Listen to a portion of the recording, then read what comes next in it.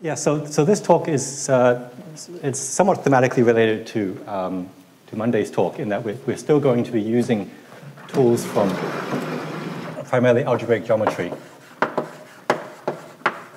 although no longer so much algebraic topology. Okay. For problems in uh, things like uh, in incidence combinatorics or related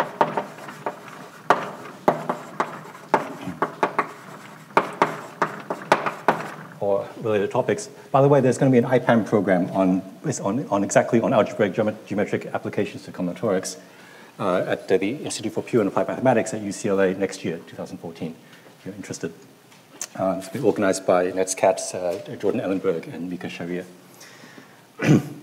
okay, so um, on Monday, we, we saw um, one such application on, on ordinary lines um, using what you might call 19th century algebraic geometry and algebraic topology. You know, we, we, use the, um, from, from, algebraic geometry, we use the Cayley-Bacharach theorem, which is a 19th century result.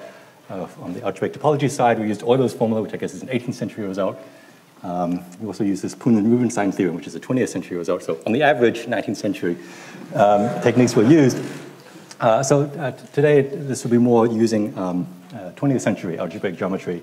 Uh, yeah, in, in, particular, or first of all, I, I need the Lang-Weil estimates and the Étale fundamental group.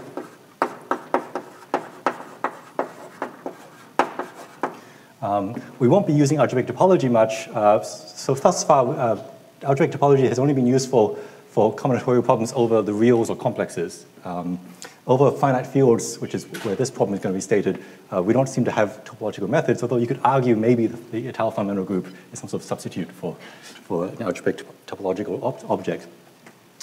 Okay, so um, what is the problem? Ah, I already didn't, okay, but, um, okay, so the, um, um, so the problem is going to be over a finite field. So you let F be a finite field. I Think as, as a large finite field.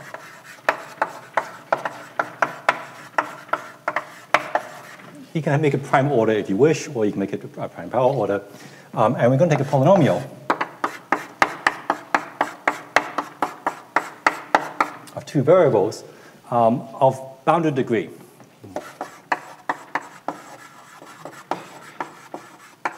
Okay, like degree quadratic or cubic or something. Okay, but the field is much larger than the degree. Um, and we want to know uh, which polynomials are expanding. So I'll, I'll give an informal definition we say that a polynomial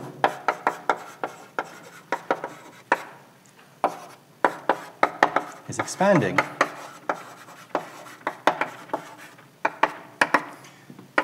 if uh, for all sets, for all subsets A and B of the finite field, uh, except for ones that are too small too large. So um, to give some, some degenerate cases, we assume that that uh, the sets have don't have bounded size and they don't have they don't, they don't have size close to f. So they have some intermediate size between between one and the size of the field. Um, if you form the image of of of, um, of uh, a and b under this polynomial, which by definition is just p of a comma b, where a is in a and b is in b, um, we say that a polynomial is expanding if no matter what two sets you, you stick in, P of AB is, is substantially bigger than either A or B. Um, okay, so if, if you have um, some sort of bound like this, um, then we say that your polynomial is expanding, that, uh, that the, the, the, um, the, polynomial gives you a, a, a bigger output set than, than, than input sets. Now, this is not a precise definition because I haven't quantified exactly um, what bigger than means and what, what hypotheses there are. There's various types of, of expansion depending on, on what regimes uh, you're, you're, interested in and what bounds you, you expect to get. So uh, the, I, I, won't list, you know, there's like six different inequivalent types of expansion. But this is a, sort of a rough definition. And these are, these are useful in, in computer science um, for constructing um, uh, things like uh, randomness extractors, and you can also build certain types of expander graphs uh, using these expanding polynomials. Um, I won't talk about applications here. Um, I just think of this as a, as a pure mathematical problem, which is to, to, understand which polynomials are expanding. Okay, so the basic question is, is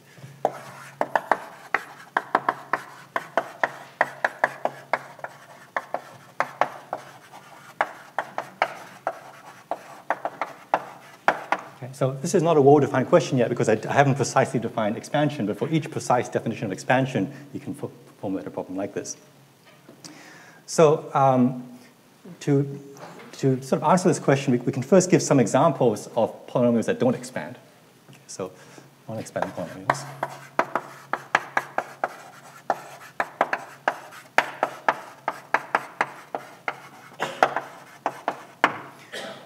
Okay, so a very simple example of a, a non-expanding polynomial is the, is the addition polynomial, x plus y. Uh, because for this polynomial, you can take x, uh, you can take a to be some arithmetic progression, for example, the standard arithmetic progression of some length n, and b to be the same progression. And uh, in this case, p of ab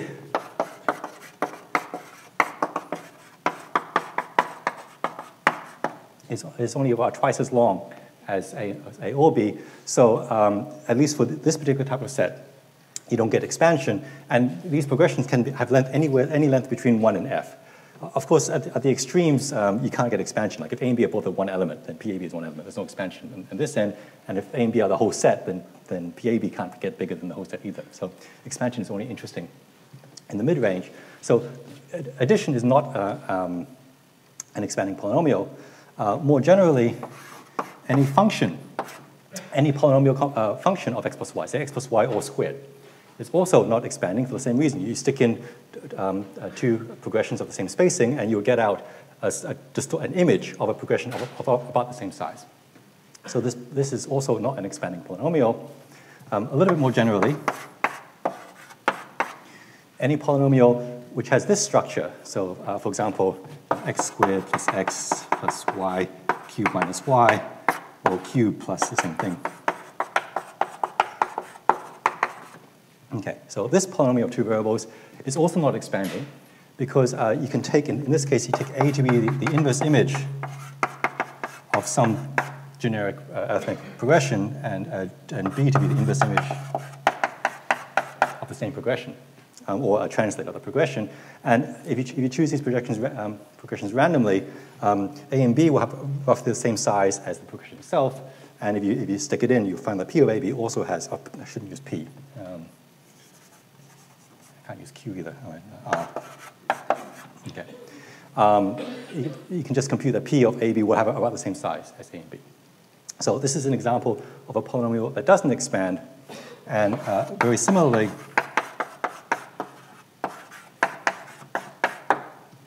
You take a polynomial which has this form, which is the same thing except for where you replace addition here by multiplication, um, then again you don't have expansion. It's the same argument, but you replace arithmetic progressions by geometric progressions. Okay, so these are examples of polynom polynomials that don't expand. Um, and the general conjecture is that, um, at least for fields of prime order, um, these should be the only non-expanding polynomials. So any so most polynomials cannot be written in this form. Most, as a general rule, functions of two variables generally cannot be written in terms of functions of one variable. Um, but, um, okay, so um, I mean, there's a lot of polynomials of this type, but they're still very uh, sparse compared to the space of all polynomials. And so the expectation is that most polynomials do not exp uh, are expanding, uh, and in particular any ones that are not of, of this type. Now, um, this is, at least for fields of, of prime order, um, there is this one further obstruction which is very annoying. Um, if your field does not have prime order, then it contains subfields. And because it has subfields, there's further, there are further examples. Um, so if your field contains a subfield, um, and your polynomial takes coefficients in the subfield, uh, then you're not going to be expanding because then P of, you just insert in the, sub, the subfield. And you can't escape the subfield. Uh, so you don't get expansion in that case. Um, so that's kind of annoying. Um, and, and you can concoct many variants of this example, and so it's much less obvious what to conjecture is true uh, in, in that case. Uh, so people generally do one of two things. Um, one is either restrict attention to, to, fields of prime order, in which so that this problem doesn't occur, uh, or the other is to restrict attention to sets that are so large that they can't fit inside subfields. Um, so um, to deal with this problem, uh, one way around it is to restrict attention to sets that are large. Um, so large can mean various things. Um, the sort of the minimal definition, of large should be bigger than f to the 1 half, because that's, that's big enough to, the largest subfield that a, field can have is of, is of index 2, is, is, is f to the 1 half. So if you're bigger than f to the 1 half, you can't get stuck inside a subfield. In the, the, work I'll be doing, I can't get quite that low. Uh, I'll be I'll be studying that are quite, that are quite big, uh, of size about f to the 15 16ths or bigger. Um, but so there's, there's, various regimes in which you can study expansion. You can study expansion for very large sets, sets that are close to f. Um, very small sets is also very interesting, sets less than f to the epsilon, and then the, and then the, the medium range sets, and, and they each have a different theory. Um, it turns out that the, large sets are actually the easiest to study, and what we're talking about today is basically a complete solution to classifying the non-expanding polynomials in, uh, in, the large, uh, in the large case, uh, with one caveat. Um, I can't handle all, all finite fields, but I can handle finite fields with large characteristic.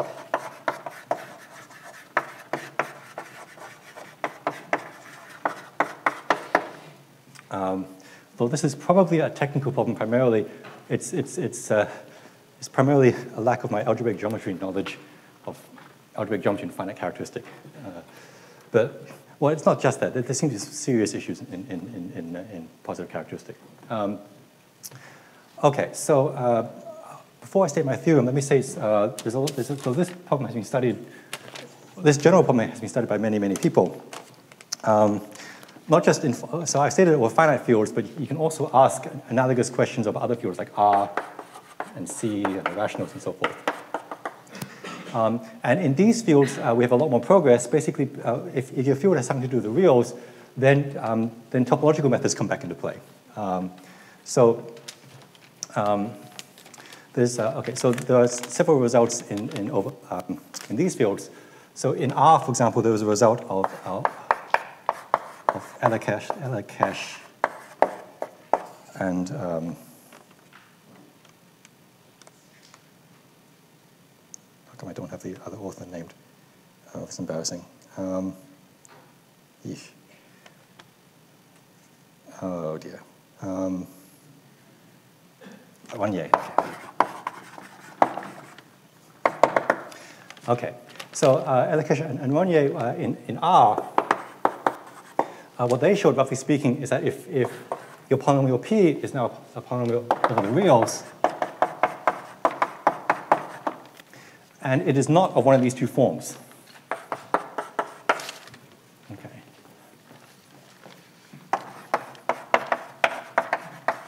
So it's a, it's a polynomial of bounded degree, but not, of, uh, but not decomposable in, in, in, this way. And you take two sets, two sets of, of real numbers now,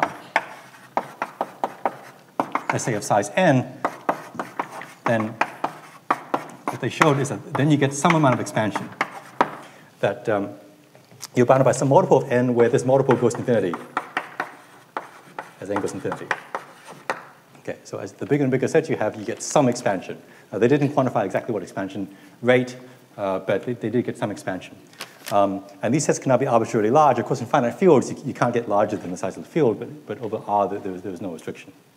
So over the reals, at least, uh, you get the right result, that, that these, are, these are the only um, these polynomials are the only non-expanding polynomials.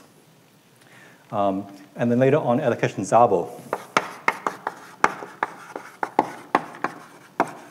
uh, basically prove the same thing for, for um, prove the same thing for the complex numbers, essentially the same result. Um, and very recently, uh, Solymosi um, proved a similar result for the rationals. Uh, now you may think, um, the, if you can understand what's going on for the reals, that, by, that this, this, this, necessarily tells you, if, if, you can prove expansion in the reals, you can prove expansion sorry, in the rationals, which is certainly true. But there are some polynomials that, um, that don't expand um, in the reals, but they do expand over the rationals. Uh, for example, um, uh, okay, yeah, oh, okay, very simple example is a, is a polynomial like this. Um, okay, that's, that's, that's not definable the rationals. I have to think of a better example. Um, Ah, okay, here we go. x squared plus y squared. Okay, yeah, this polynomial doesn't expand over the reals uh, because you can take the square root of a progression, of an arithmetic progression, uh, and stick it in, and it doesn't expand over the reals, but it does expand over, the rationals, as it turns out. So um, there's, there's some additional number theory issues that he had to resolve to, to sort out what was going on in, in, in, uh, in the rationals. So um, we have a fairly good understanding of what's going on um, over fields that are related to R, basically because we can use techniques coming from algebraic topology. Uh, so uh, for, the, for the experts, this involves things like the, the Szemerédi-Trotter theorem, uh, crossing number inequalities, um, ultimately, which ultimately boil down to things, things like Euler's formula, and, and th things that are only available uh, over R, basically. Cell decomposition is also a major tool. Okay, but I won't talk about these, uh, these results, which are very nice. Uh, they, they do a lot of algebraic topology to get some initial reductions, and then they have to solve some algebraic geometry question problem to, uh, to, to, to, get into, into, into this final form, assuming that you don't expand. Okay, so I'll be, I'll be interested in working over finite fields, and as I said, there's always two regimes, one where a, you're large and then one where you're small, you know, less than f, f to 1 half, say, or, or f to 1, 1 minus epsilon. And so there's been a lot of work uh, in a small case. Um, uh, expansion for polynomials for, uh, for small sets is, is related to something called the sum product phenomenon.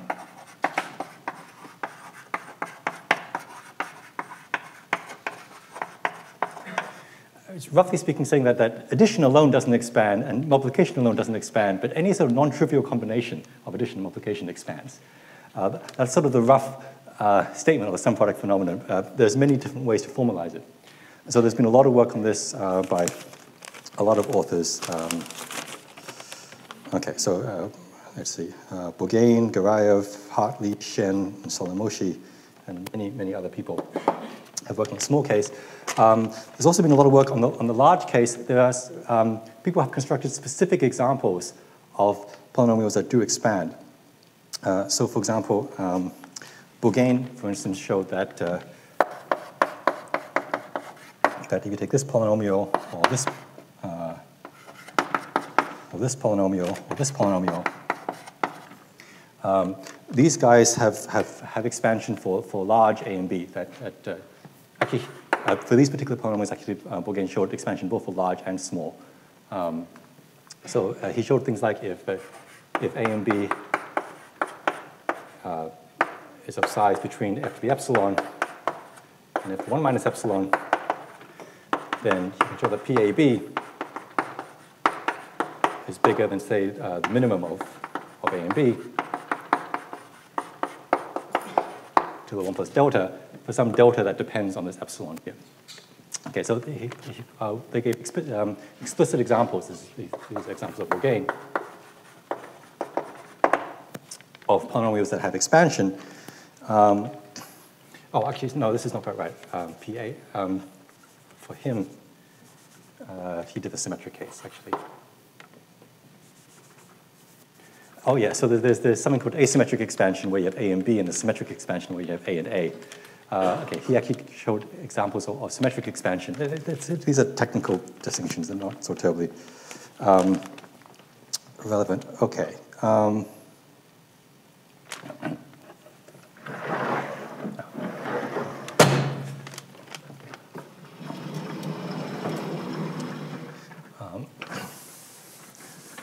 There's also been work by Solymosi and Iosevich Rudnev, uh, Shkredov, Garaev and uh, Hartley and Shen.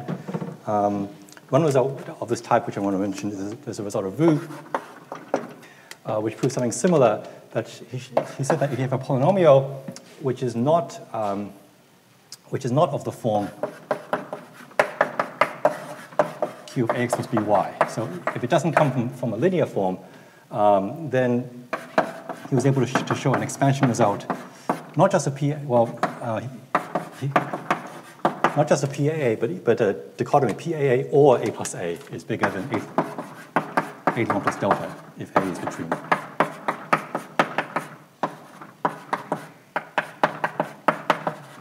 Okay, so for a medium-sized set, you get either some expansion of PAA or A plus A. One of the two expands, as long as PAA is not a self-look coming from an additive structure.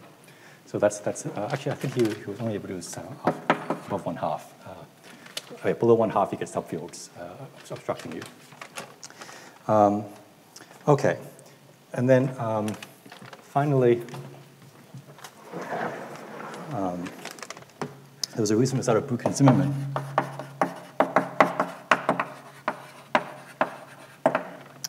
Uh, that show that if, if P is um, non-composite,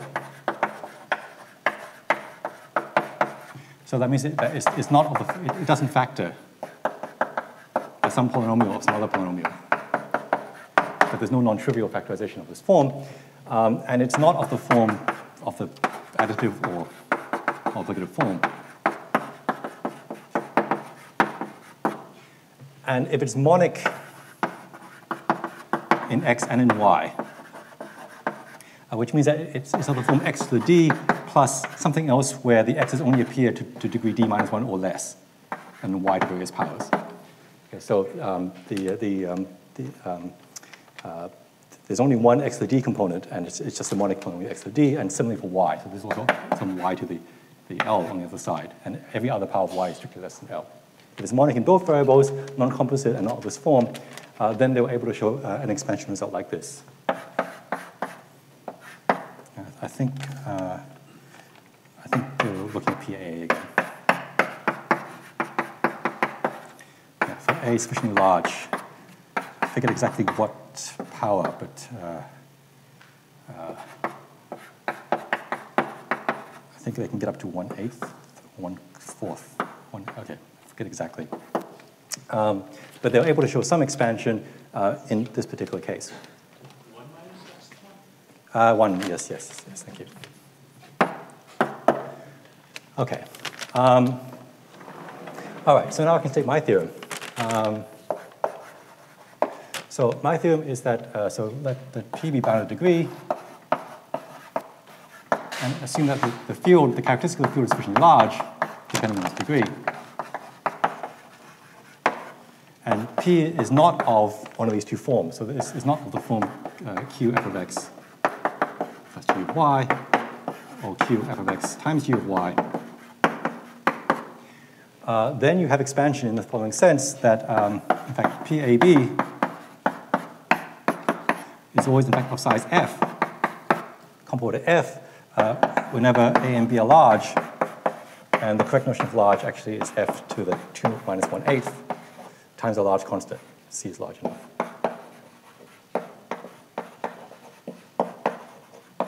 So there's a certain threshold where if A and B, the product, the size of A and B is, is big enough, um, then uh, in fact PAB has to saturate almost the entire, um, almost the entire field.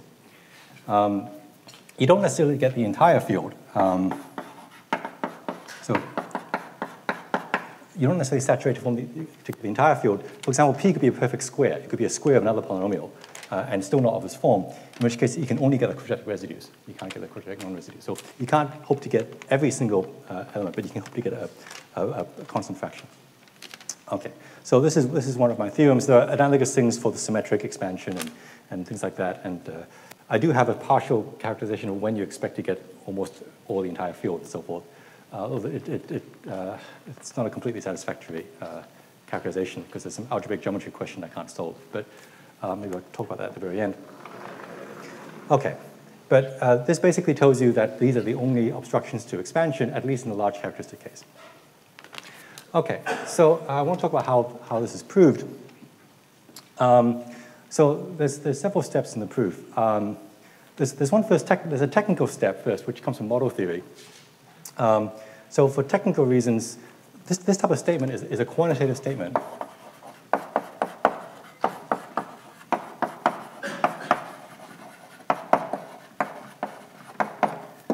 about finite fields.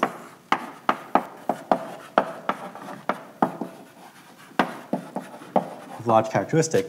So it turns out that there's a way to convert this, there's a correspondence principle that converts this type of, uh, any statement of this form, roughly speaking, can be converted to an equivalent statement, which is a, a qualitative statement.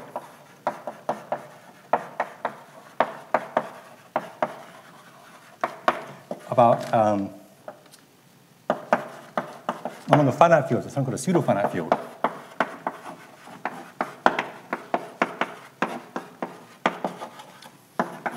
Of zero characteristic. Um, so a pseudo-finite field is a field that can be infinite, uh, but it obeys the same sort of uh, properties as a finite field. So a finite field, for instance, has a Frobenius automorphism, which uh, generates the its absolute Galois group. Um, and pseudo-finite fields also have a Frobenius map, which also uh, generates the, the, the absolute Galois group and things like that. Um, so th there's this tool to do this. Uh, basically, if, if, you use something called an ultra product, or if you like non-standard analysis,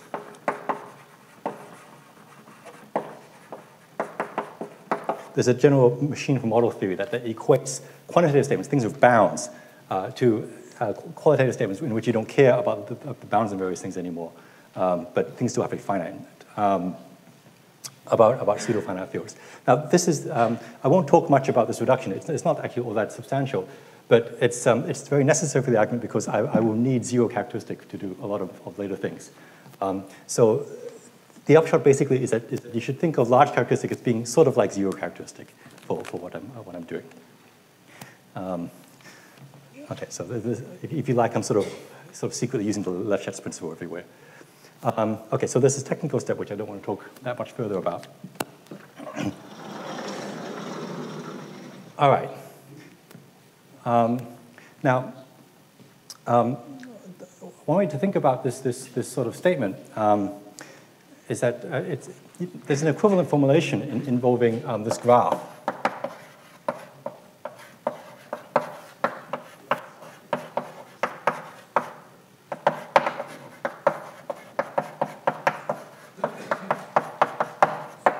Okay, so if you graph the polynomial, um, then you get the subset of F3. So you get some, some, it doesn't actually look like this, but okay. You, you, um, you get some, you, uh, you get some, some two-dimensional um, subset of, of, of, F3. And um, you can phrase this sort of question. Um, what you're really doing is that you're, you're trying to understand how um, how um, this, this, this set interacts with Cartesian products. That if you can, if you can get a good sense, if you can get a good estimate on how this, this, this set uh, interacts with, with, Cartesian these triple Cartesian products, uh, you can convert that to, to, to, to, to estimates of this form. Um, so what, what you really like to do is, is you want to get bounds on, on the set like this. Um, and heuristically, because this set has, has, this set should have size about f, f squared inside f cubed. So if you take a, a, a typical uh, Cartesian product here, you expect the ex expectation is that the size of this intersection for typical ABC should be of the size plus some, some, some error term. Okay. And if you can prove an estimate of this form, then uh, uh, of the right type, then you should be able to prove an estimate like this. So you want to show that, that graphs of this type have some sort of um, what graph theorists uh, uh call regularity um, or quasi-randomness. Uh, that, that, that these, this set, which you can think of not as a graph because it, it has three um, coordinates, but as what's called a three-uniform hypergraph. But it's sort of a graph. It's a graph connecting triples of, of points rather than, than pairs. But you want this graph to be, to be, to be random in some sense, in the sense that, that its intersection with large, um, large products has sort of the expected um, density. So you want some sort of a regularity theorem that tells you um, things like this. So, um, so the main tool I use to do this is what I call an, an algebraic regularity lemma.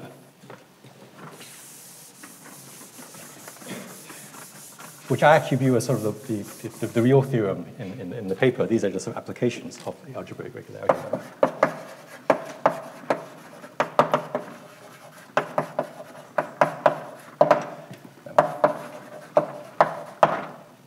So the statement, actually, before I say the lemma, I, need, I needed some notation. So over here.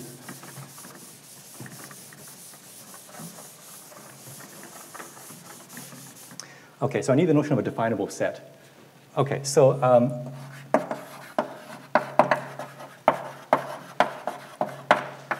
so over a finite field, um, a definable set is a set of the form, it's a set of all points in some power of the, the finite field which obey some, some first order predicate. So well, P of x is true. And uh, this is some um, um, first order sentence, first order predicate.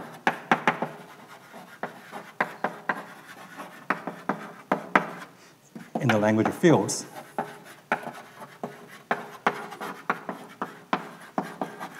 Uh, with constants uh, in F. Okay, so just any sentence with for all and there exists and constants and variables and plus and times and things like that. Um, and anything like this is called a definable set. So for instance, um, any algebraic variety over F is a, is a definable set. Um, the set of quadratic residues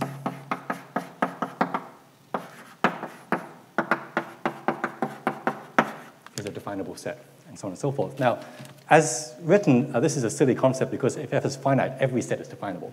Um, so to make, that, to, to make this uh, more useful, you can either work with pseudo-finite fields, or you can work, um, that's a qualitative way of doing things, or you can work with definable sets of bounded complexity.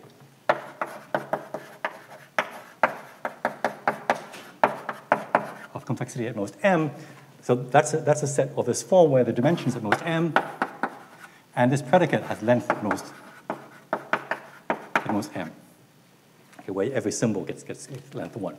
So this would be a, a, a, a definable set of complexity, I don't know, 7 or something. Um, okay, so these are definable sets of some bounded complexity. Okay, so here's the regularity lemma. So let V and W, so uh, let F be a finite field. Okay, so hang on. Let M be a number. Let F be a finite field sufficiently large characteristic, depending on M.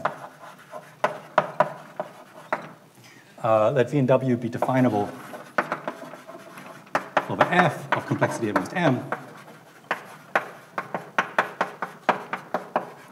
And consider a graph between V and W, which means a subset of V equals W, also definable of complexity at most M. So a definable graph between definable sets.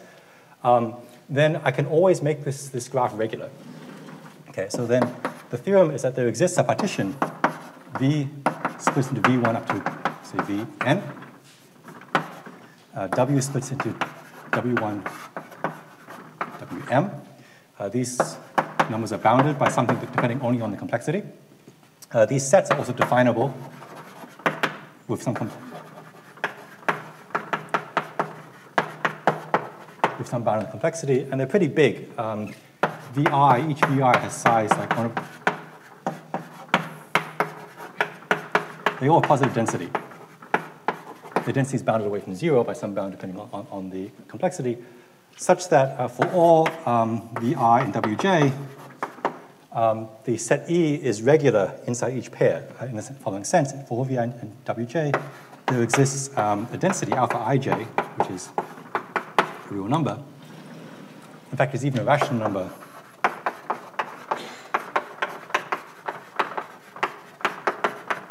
Whose height is controlled by the complexity, although I don't actually need that fact.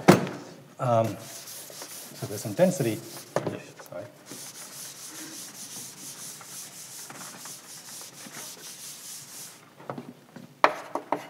So for all A and VI and V and Vj, um, the density of E inside V cos, uh, inside A cos B is alpha uh, plus an error. Error turns out to be one quarter, F minus one quarter, VI Wj. Okay, so what this is saying is that I can split up any definable graph between definable sets into a bounded number of pieces where on each piece um, the graph has, is regular with some density, but the density can vary from piece to piece.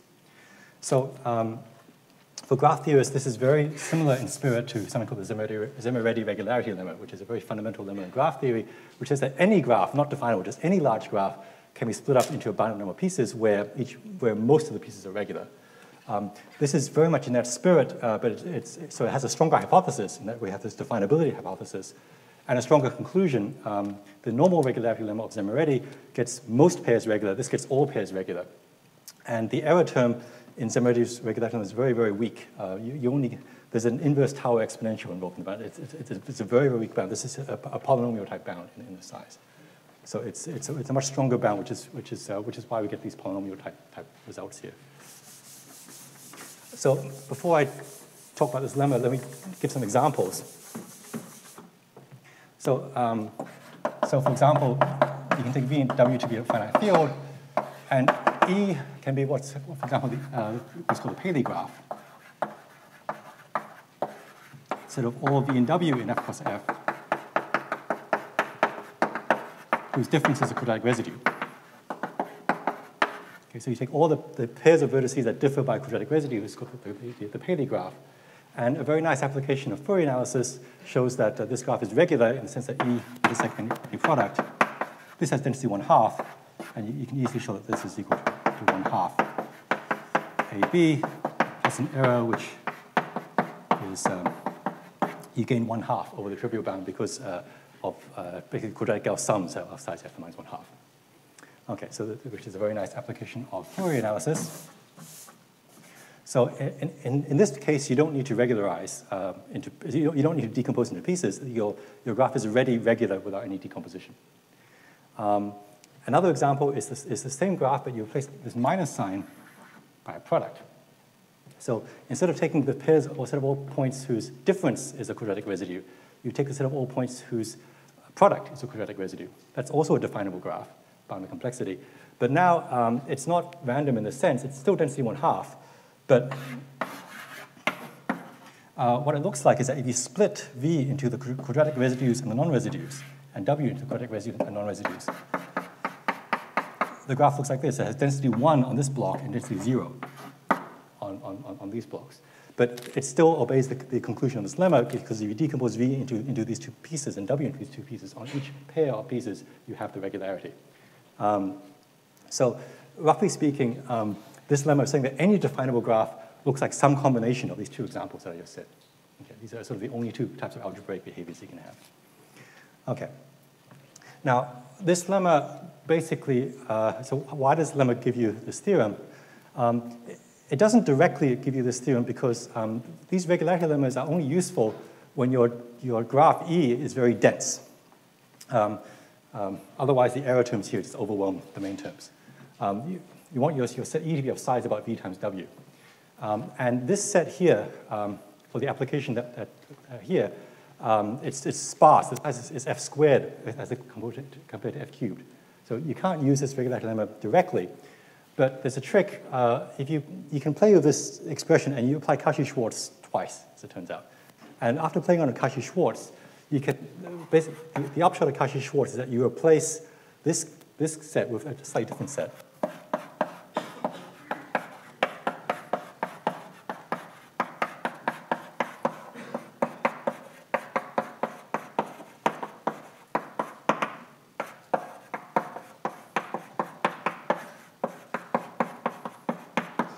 So those of you who know what the Gowers norms are, this is the same trick used in the theory of the Gowers norms. Um, so there's this slightly different set, which is, uh, which is uh, sort of what you get when you apply Cauchy-Schwarz's curve twice. And I'm not going to define exactly what that means. But um, this is a set now in four dimensions, which should have positive density because it, it, it's, it's parameterized with, with four unknowns in, in, in, inside a four-dimensional space. So you expect it to have positive density. And if it does have positive density, you can apply this regularity lemma to this set, and then after undoing the Cauchy-Schwarz, you can get what you want. Um, and for most polynomials, um, this set is indeed four-dimensional. But there are a few exceptional polynomials for which uh, this, uh, this set, which you can, you can think of as, as an image of a four-dimensional uh, space, it's like the image of a, of a 4D space in, in, a 4D space under some polynomial map. Um, sometimes um, this, this uh, the dimension collapses from four to three or to, to, to a lower dimension. But it turns out that the, the only polynomials that do that are the polynomials of this form.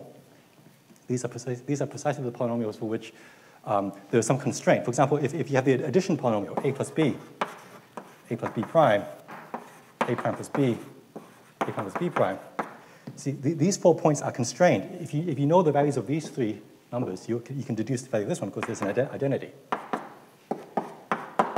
This number is the alternating sum of these numbers. And so, uh, and so the image of, uh, so it, it, for that particular polynomial, this image is, is a three-dimensional set rather than two-dimensional, uh, rather than four-dimensional. And similarly, you can check that these, these, these, other, these other polynomials um, also give you um, some collapse in dimension. But you can prove um, that these are the only ones. And uh, actually, it's a very nice Riemann surface argument, actually. You, you, you study when, when the image of the map, uh, when, when the derivative has, uh, doesn't have full rank. And uh, you can actually compute with uh, monodromy. And it's, it's, a fun little argument, but uh, I won't give it here. Okay, but if, but if you have the density, um, but if it is density, you can use this lemma. Okay, so, um, so now I want to talk about how this lemma is proven.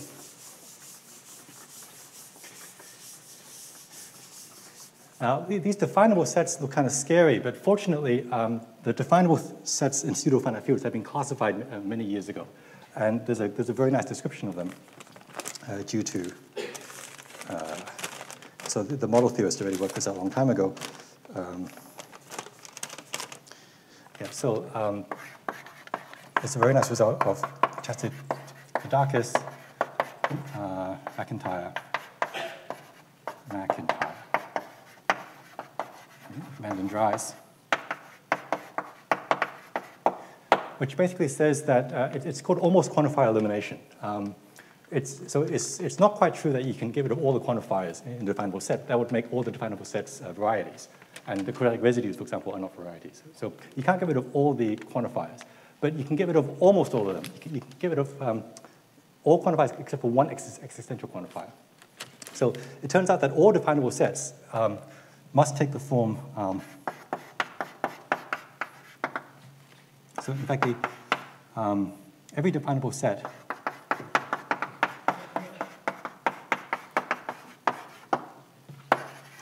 either takes a form like this, where it's, it's sort of a generalized quadratic residue type, type, type thing, where it's sort of all f for which some polynomial of one variable has a root in the, in the finite field, or an intersection of finite number of sets of this form. And uh, so every single definable set is, is, is of this form.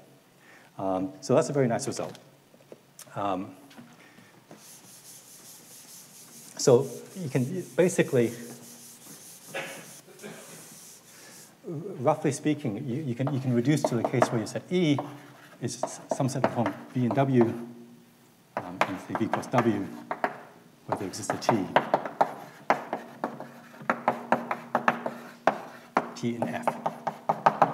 Okay, so your, your, your definable your graph really is, is basically a graph of this form. Okay, now how do you prove, how do you prove this, this lemma? Um, so this lemma looks kind of complicated, but if you do a singular value decomposition, uh, what you find is, is, that what you're really asking is that if you take the indicator function of E, which you can think of as a V by W matrix, okay, ones and zeros, uh, the adjacency matrix of, of, of your graph, what you're really doing in this lemma is that you're splitting it into a bounded rank part plus a part plus an error of small operator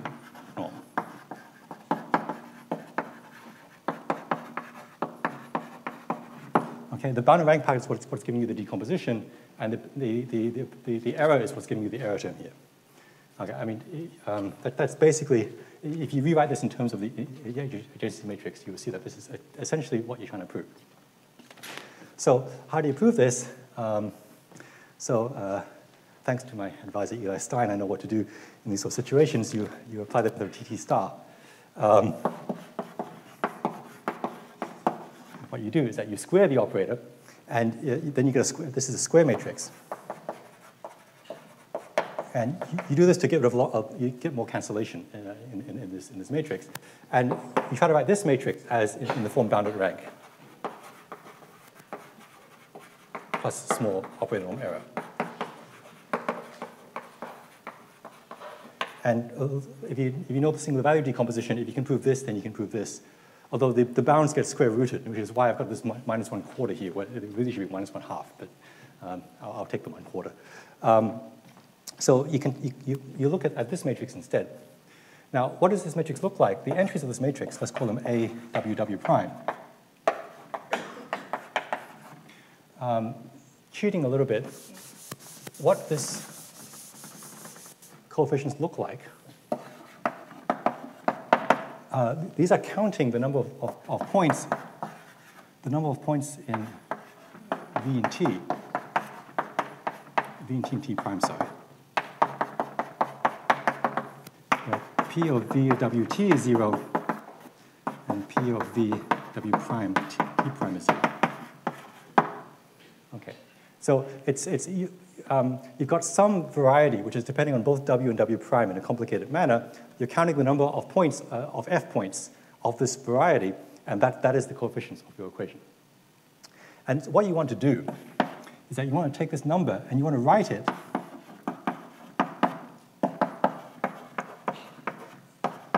as the sum of a small error and a main term. And the main term should be low rank in the sense that this, this expression should only depend on a bounded number of bits.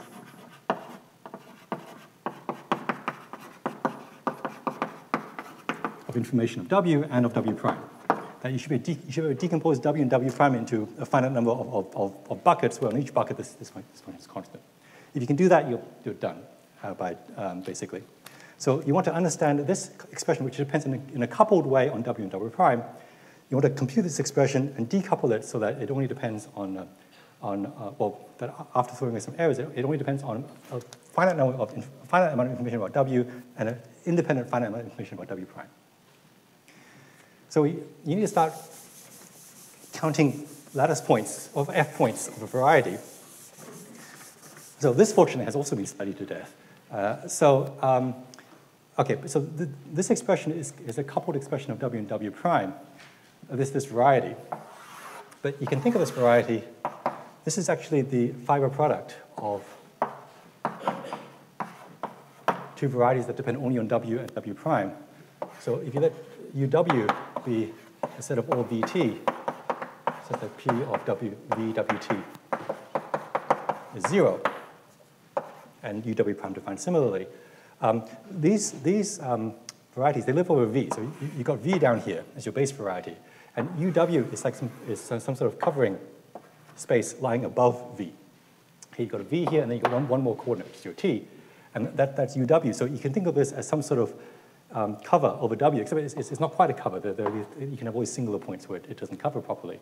But it should be sort of mostly a cover over, over V, and then you've got this other UV prime, UW prime, and so you've got all these fibers um, above every point. And if you take the Cartesian product of every fiber and you glue it together, you get what's called the, the relative product or, or fiber product of these two varieties, and that's what this thing is. So you want to count the number of lattice points in this, in this, in this variety, and you want to decouple the rows of, v, of W and W prime. So um, there's a great theorem about how to count uh, uh, points in a, in a, finite field over of a variety. So um, there's something called the Langau estimate, which says that if you have some variety U, say, there's some d-dimensional variety of f, and you want to count how many, how many f points you have. um, then this is going to be uh, f, f to the d times a constant plus a low order term, d minus 1 half. And what is this constant? This constant is the number of uh, geometrically irreducible components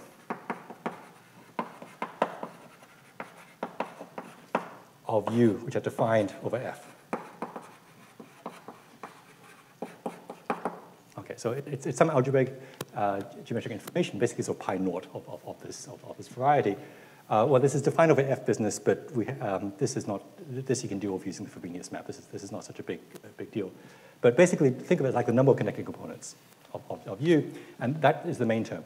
The, so this is a deep theorem. It basically comes from the, the, the, the, the Weil conjectures, um, Lang-Weil, not Lang-Bao, sorry, comes from the, um, the Weil conjectures, um, proven by Deligne but I can just use it in a black box, which is, which is unfortunately, I'm very grateful. Um, but okay, so basically, so this expression is, uh, so the, the, upshot is that you, you want to take the number of connected components. So you want to show that the number of connected components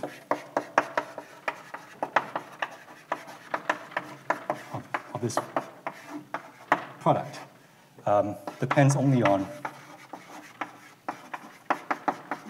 on finitely many bits of information, or boundedly many bits of information of both W and W prime. This is, so you've got, you've got one family of curves UW and another family of curves UW prime, and you're taking the, the fiber product. And you're taking this, this complicated object, you're counting connected components, this is some, some integer number, and this number should only depend on some finite amount of information on W and on of W prime. So um, this is finally where the Étale cohomology comes in. So um, Okay, so um, I said before that the, these, these varieties, UV and, and, UW and UW prime, they don't quite, um, morally they're, they're sort of, a, they should be a finite level of V, but, but uh, there are singular points. There, for any W, there's going to be some singular set, let's call it, say, sigma W, where the fibers do some bad thing, uh, some, something is, is, is degenerate. So, but uh, because we're in characteristic zero, uh, those sets, those, those, points are not very, are not very uh, prevalent. So you, you, can, you can show that, that, that, that the, the, the bad points um, uh, uh, have a lower dimension than V itself. So, so up to, after, after deleting some singular set, these UVs become what's called an étale finite cover of the set here, which is, which is basically, um, locally they look, they, they look like a, a, finite Cartesian product. Okay, so it's, it's the algebraic geometry version of a covering map. So um, after deleting a singular set depending on W and a singular set depending on W prime, um, these things become um, nice finite covers. So you can, uh, if, you, if you delete two singular sets, um, then this is, this is what's called an étale finite cover. Okay, which is analogous to a, to a covering space uh, in, in, in the topology of manifolds. Now, finally, where does the fundamental group come in?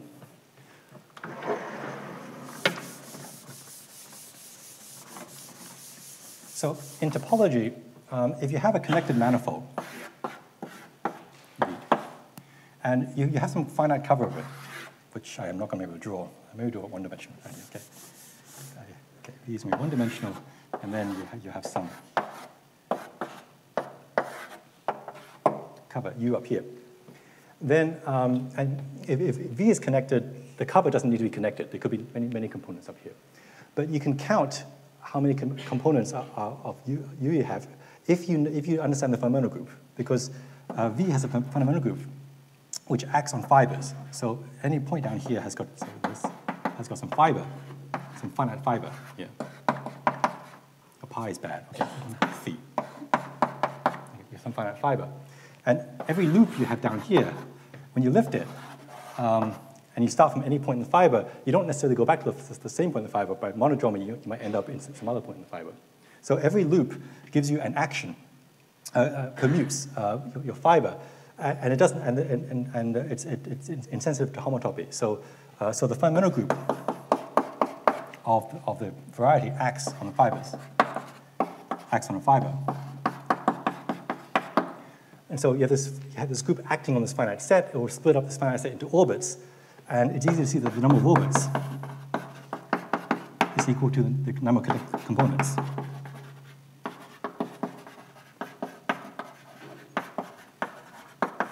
U, okay? Um, because if you're on the same component, then there is a loop that connects you. If there isn't, then there's no loop that connects you. So if you understand the fundamental group and you understand how it acts on these fibers, then in principle, you can count connected components. Now, this is what happens for manifolds. Um, we're working with algebraic varieties over um, a pseudo-finite field, as it turns out, which is, um, which is not quite, even though it's characteristic zeros, it's not really the complex numbers or anything. So um, well, it's not the real number. So you, um, there's no good notion of a loop. So the topological, topological notion of, of a fundamental group doesn't quite make sense. But uh, thanks to the work of Grothendieck and many others, um, there's, um, there's, a, there's a good substitute, there's something called the étale fundamental group, which, uh, which is, uh, if you like, a sense of abstract nonsense, which lets you define um, an object which you call the fundamental group, and what it does is that it, it acts on fibers um, of, of, of, coverings in a way which is functorial and, and so forth, which is, which, is, which is nice in various ways. Um, and so this has, um, there's a well-established theory of this. It's all in SGA, chapter four, book four, um, which actually was not so scary to read, actually. I was, I was terrified of these books as a graduate student, but actually once you actually have to use them, they're actually not that, not that bad. Um, but, um, well, at least SGA 4. I haven't, I'm still terrified of the other uh, books, but okay. Um, but okay, so there's, there's a theory here. So roughly speaking, uh, what, you, uh, what ends up happening is that, is that you need to understand the fundamental group of, um, of the base variety uh, minus these two, uh, with these two single sets removed. And, and the, the, the hardest thing is, is to understand what this fundamental group does. Um, so there's two facts that I actually need um, from SGA4, basically, that I use as black boxes. Um, so one nice fact is that, is that, this fundamental group is actually what's called topologically finitely generated.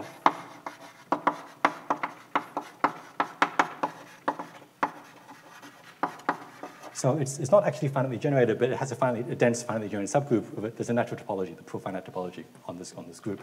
Um, but it's basically finitely generated, and this, this finitely is what's going to give me my, my finitely many bits of information. Um, so that's one thing I, I, can use as a black box, uh, again, which, and here I use characteristic zero again. Um, and the, the other thing that I need is something called the Tau Van Kampen theorem.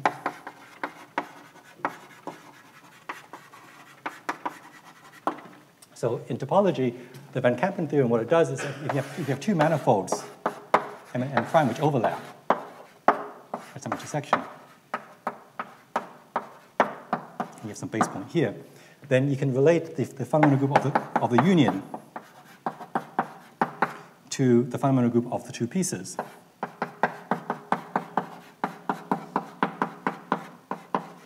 It's basically the, uh, the amalgamated free product or co-product of these two groups relative to the fundamental group of intersection. Okay, so it's one of the basic theorems in algebraic topology. Um, and it turns out um, that there is an Étale version, that if you, instead of manifolds you have varieties, then the Étale fundamental group is also a co-product of, of, of, um, of, varieties. And so the upshot of that is that um, the fundamental group of this object of two singular sets removed can be decoupled into a fundamental group with um, just one of these guys and the other guy.